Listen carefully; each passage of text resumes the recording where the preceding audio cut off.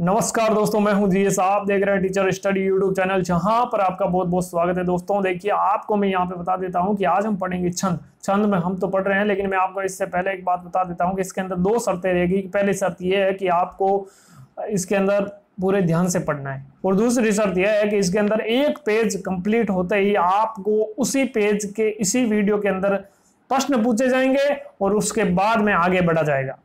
और अंत में पूरा का पूरा जितना भी इसमें कुछ भी, जो कुछ भी पढ़ाया जाएगा, वो सारा का सारा पूछा जाएगा। इसका मतलब क्या हुआ? ये हुआ कि आपको पूरे ध्यान से इस वीडियो को देखना है। ध्यान से देखोगे, तभी आपके काम आएगा, बाकी तो कुछ काम आना है नहीं। ठीक है दोस्तों, बहुत बड़ी मेहनत से ये मैंने ये बनाया वीडियो। आपके लिए छंद है, हिंदी के छंद है, ये मैं पहले बता देता हूँ। और आज हम ये छंद स्टार्ट कर रहे हैं और एक पेज कब पूरा होगा, ये मैं डिसाइड करूँगा। कब एक पेज पूरा होगा, ये आप देखिए। आपका ध्यान कितना इस वीडियो के अंदर है, ये आपको पता चल जाएगा। तो इसका मतलब ये है कि आप पूरे ध्यान से पढ़ना, ठीक है दोस्तों? तो शुरू करते हैं, देखिए छंद। छंद में देखिए, पहली लाइन लिखी है आपके सामने कि भाई, ये ब्रश ले लिया।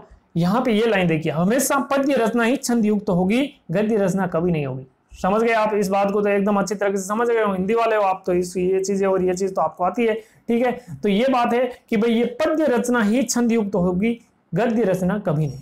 पहली बात कंप्लीट अब देखिए वर्ण के दो प्रकार होते हैं, एक हर्ष और एक दीर्घ, ठीक है?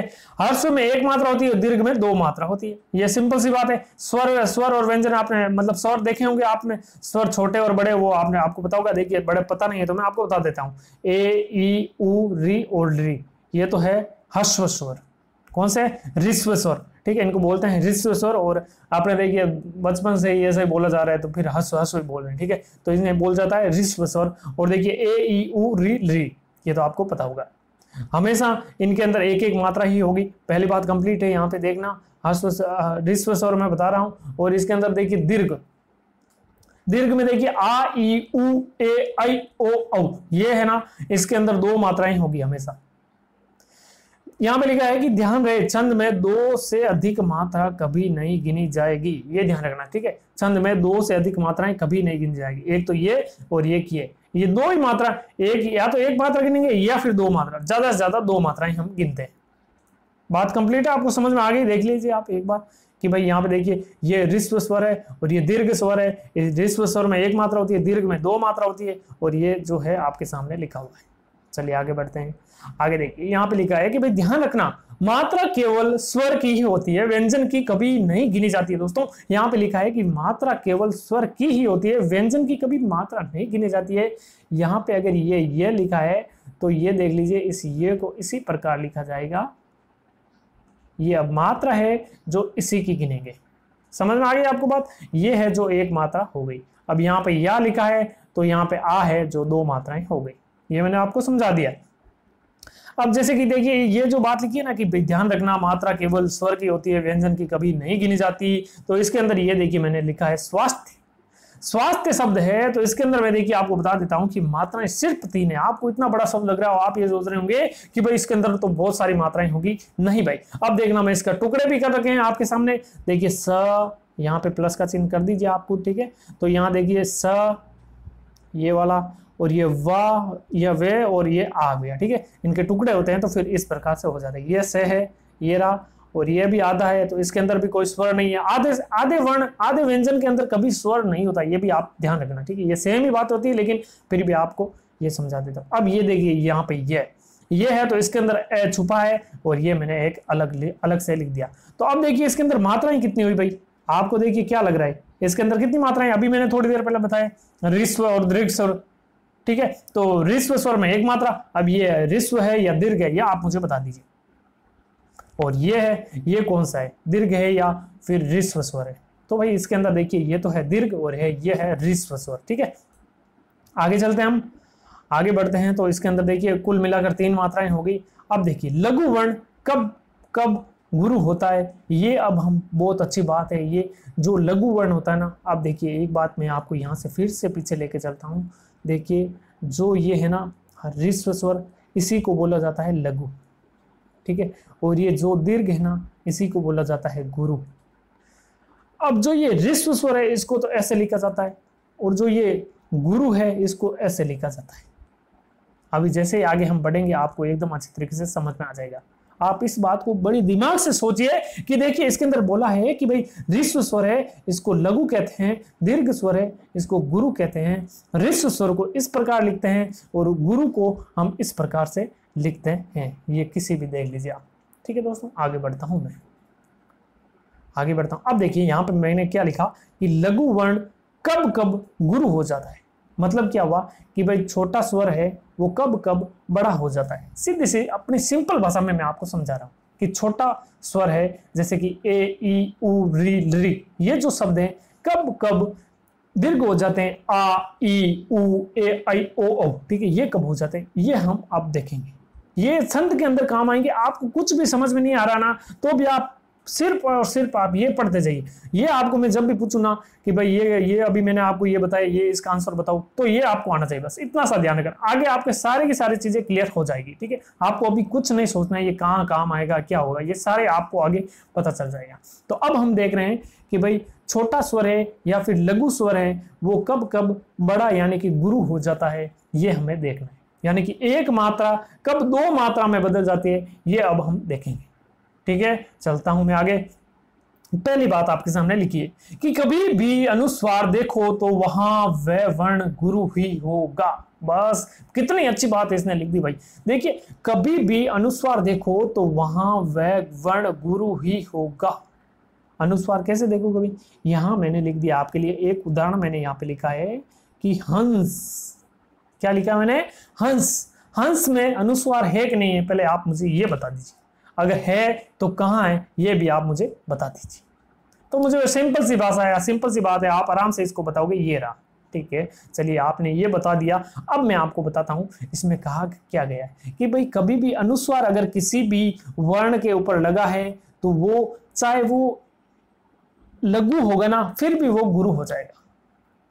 अब देखिए, ये आपको है क्या लगता है भाई? ये है।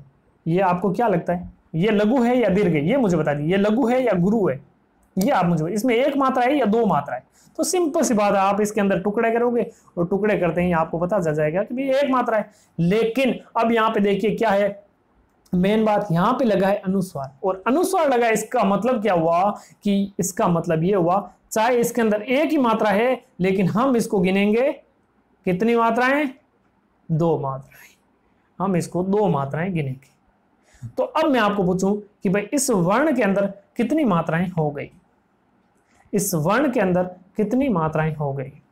आपको मैं ये क्वेश्चन पूछूँ तो इसका आंसर देखिए, मैंने वैसे तो आपके सामने लिख दिया है, लेकिन आपको ये भी पता होना चाहिए कैसे हुई? तो देखिए, ये रहा है और इसका टुकड़ा किया तो ये ए, स्वर है जो अलग हो गया, फिर ये व्यंजन अलग, ये स्वर अलग। अब देखिए, एक मात्रा ये एक मात्रा ये दो तो ये हो गई। लेकिन यहाँ पीछे क्या कहा गया है कि अगर आप किसी भी वर्ण पर अनुस्वार लगा देखो तो वो चाहे लघु भी हो या छोटा स्वर, उसके अंदर एक ही मात्रा हो, लेकिन उसको आप दो मात्रा कर दीजिए। तो इसको हम कितनी मात्राएँ गिनेंगे?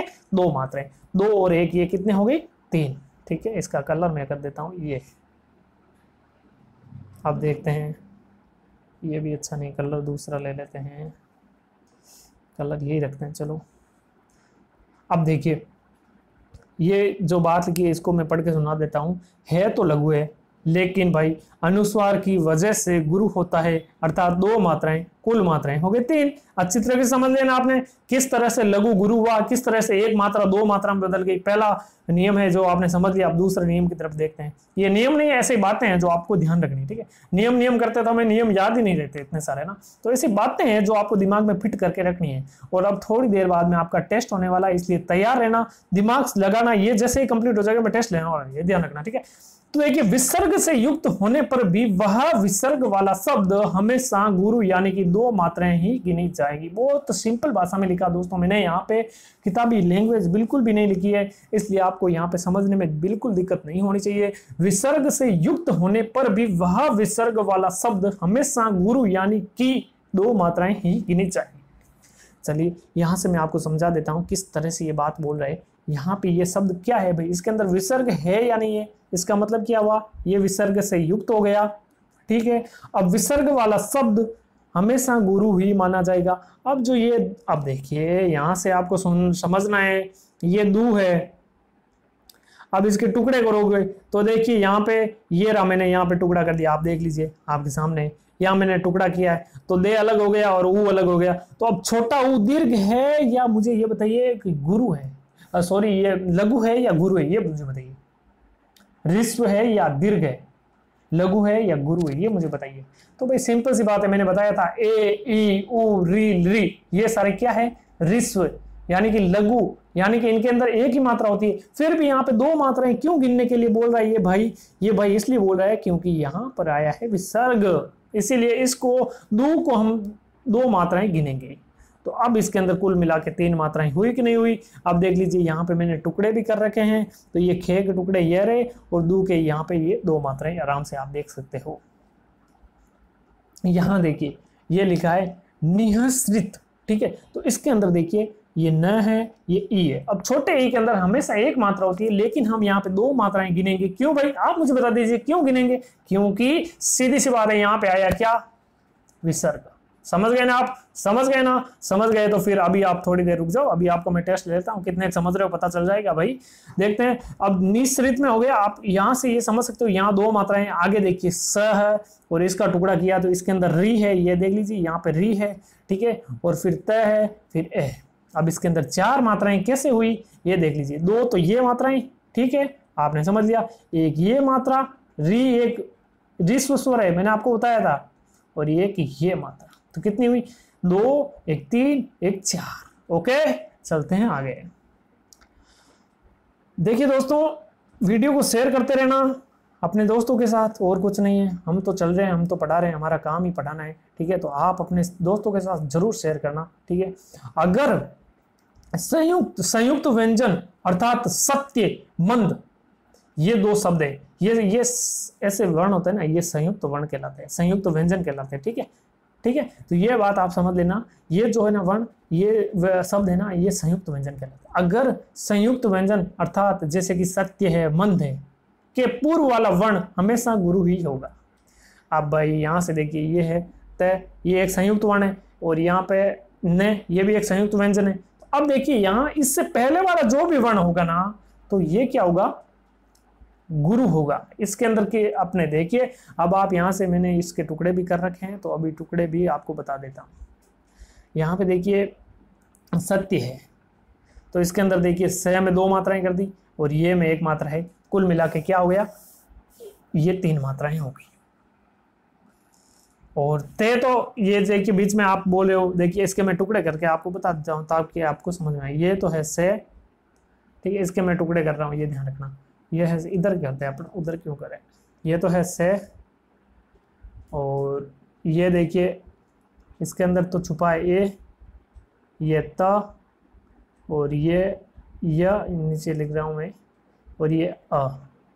अब आपको यहाँ पे क्या ध्यान रखना है? जैसे कि ये सत्य है तो इसके अंदर ये जैसे ये त आ गया मतलब कि ये संयुक्त व्यंजन है और संयुक्त व्यंजन के यहाँ पे बात की है कि संयुक्त व्यंजन के पहले वाला वर्ण कौन सा है? यहाँ ते के आगे कौन है? से तो पहले वाला वर्ण हमेशा गुरु होता है, अर्थात तो उसकी दो मात्राएँ गिनेंगे, चाहे वो एक मात्रा वाला ही क्यों ना हो। है तो ये एक मात्रा वाला ही, देख लीजिए ये एक मात्रा ही है, लेकिन हमने यहाँ पे गिन ली कितनी? दो मात्रा क्यों? ये नियम बोलता है।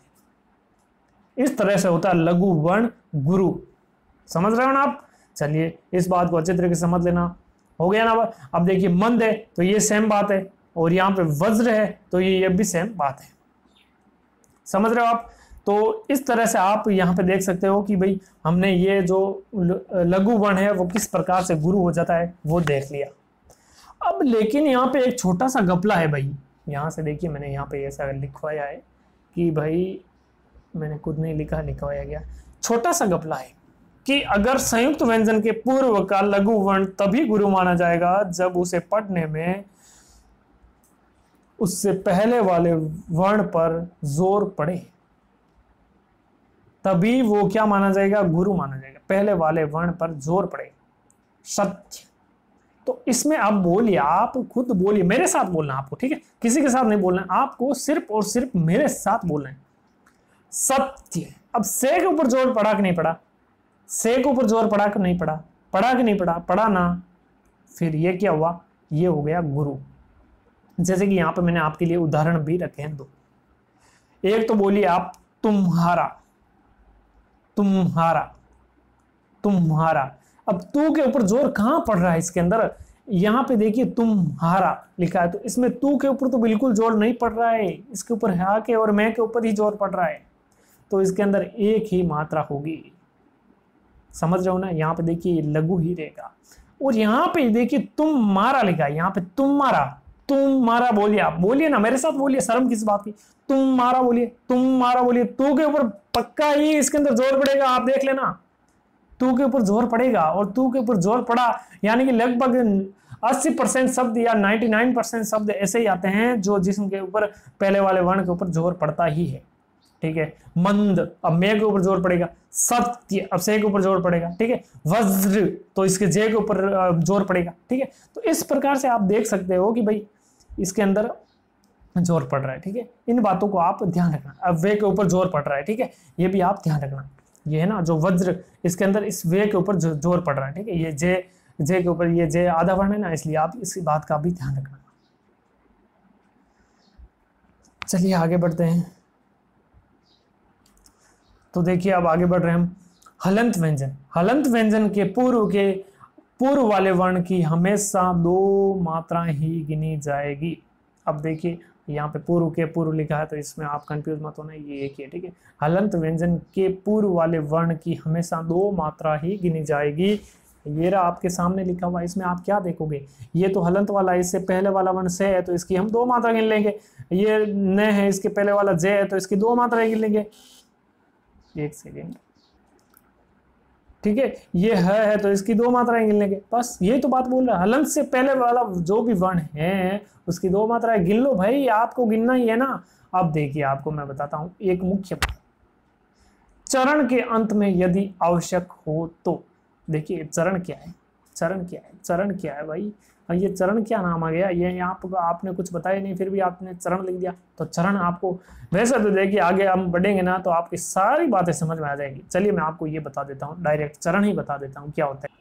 हाँ तो भाई देखिए, ये देखिए, पहला चरण, दूसरा चरण, तीसरा चरण और ये चौथा चरण।